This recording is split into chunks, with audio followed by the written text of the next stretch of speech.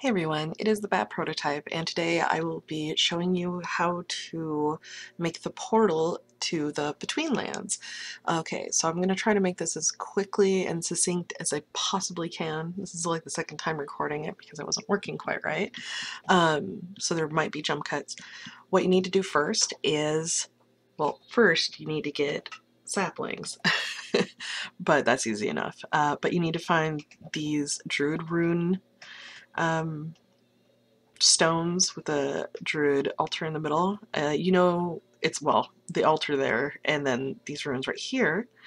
Um, but what you need the saplings for is to fill this, and this will activate it, so the druids will come out.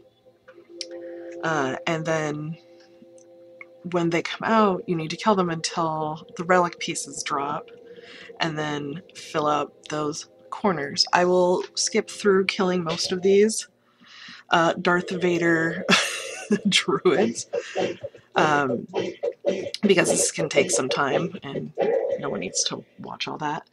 Um, but as you can see, there's a druid piece. So that would then go here. You can just shift and right click and it'll go into the correct spot.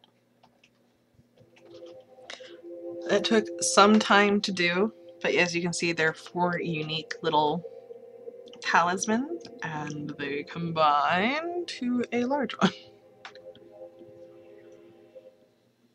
Very cool. You can just grab that. As you can see, you can get some, uh, a lot of the same ones, and you want to make sure you get unique ones. Alright, I had put a sapling over here.